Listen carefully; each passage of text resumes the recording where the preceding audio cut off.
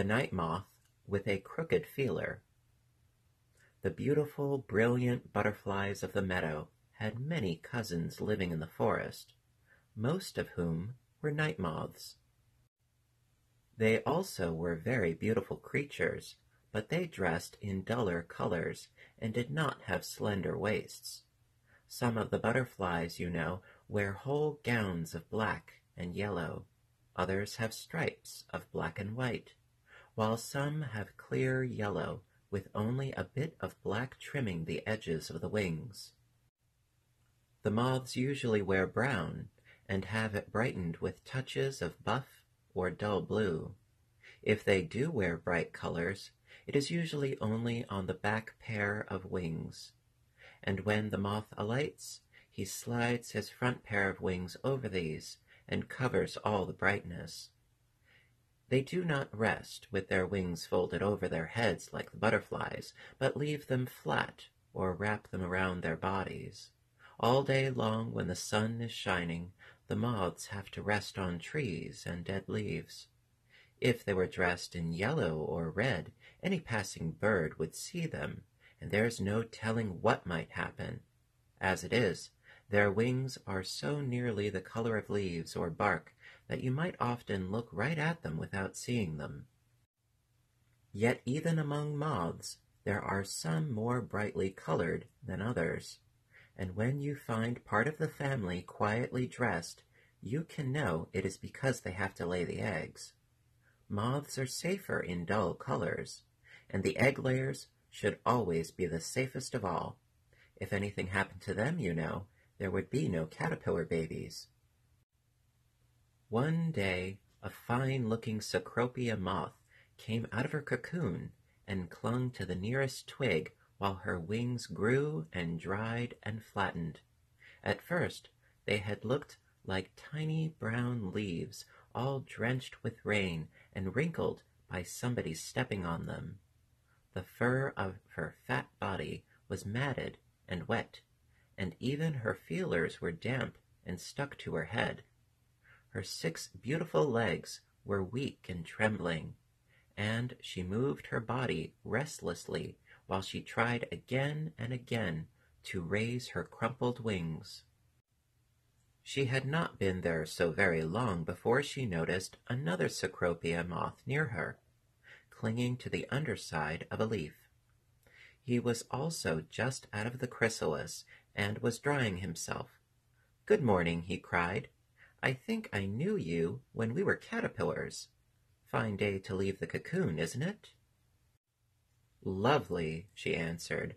I remember you very well.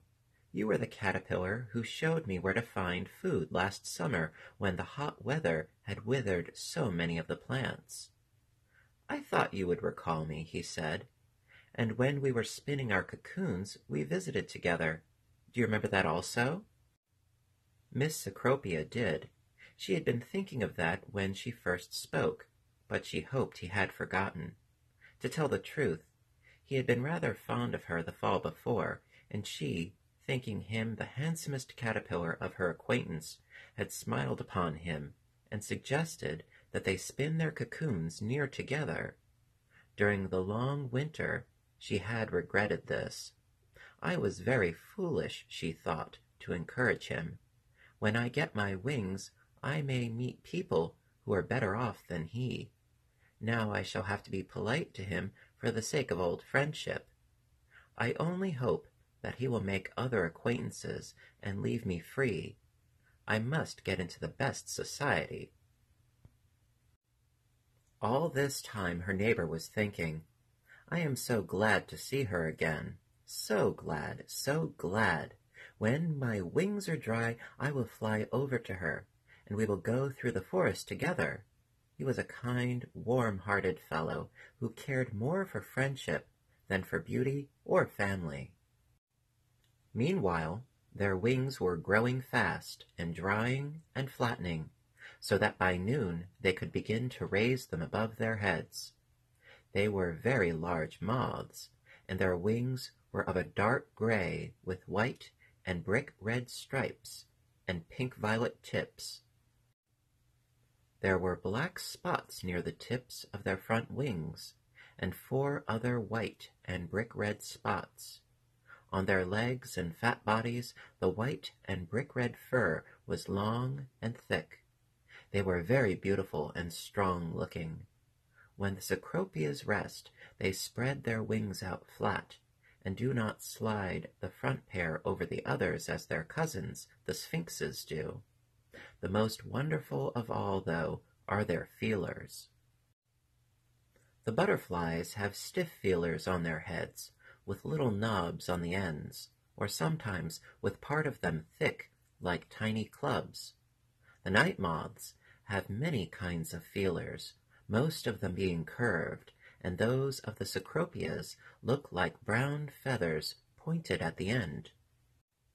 Miss Cecropia's feelers were perfect, and she waved them happily to and fro. Those of her friend, she was troubled to see, were not what they should have been. One of them was all right, the other was small and crooked. Oh dear, she said to herself, how that does look. I hope he will not try to be attentive to me. He did not mind it much. He thought about other things than looks. As night came, a Polyphemus moth fluttered past. Good evening, cried he. Are you just out? There are a lot of Cecropias coming out today. Miss Cecropia felt quite agitated when she heard this, and wondered if she looked all right. Her friend flew over to her just as she raised her wings for flight. Let me go with you, he said.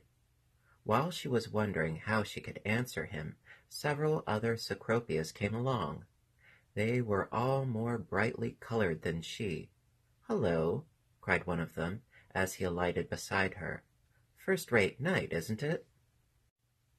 He was a handsome fellow, and his feelers were perfect, but Miss Cecropia did not like his ways, and she drew away from him just as her friend knocked him off the branch.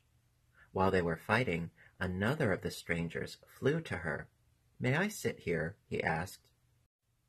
Yes, she murmured, thinking her chance had come to get into society. I must say that it served the fellow right for his rudeness to you, said the stranger, in his sweetest way. But who is the moth who is punishing him? That queer-looking one with the crooked feeler? Sir, said she, moving farther from him, he is a friend of mine, and I do not think it matters to you if he is queer-looking. Oh, said the stranger. Oh, oh, oh, you have a bad temper, haven't you? But you are very good-looking in spite of that. There is no telling what he would have said next, for at this minute Miss Cecropia's friend heard the mean things he was saying, and flew against him. It was not long before this stranger also was punished, and then the moth with the crooked feeler turned to the others. Do any of you want to try it? he said. You must understand that you cannot be rude before her. And he pointed his right foreleg at Miss Cecropia as she sat trembling on the branch. Her, they cried mockingly as they flew away. There are prettier moths than she. We don't care anything for her. Miss Cecropia's friend would have gone after them to punish them for this impoliteness, but she clung to him and begged him not to, You'll be killed. I know you will, she sobbed. And then what will become of me? Would you miss me? he asked, as he felt one of his wings, now broken and bare. Yes, she cried, you are the best friend I have. Please don't go. But I am such a homely fellow, he said.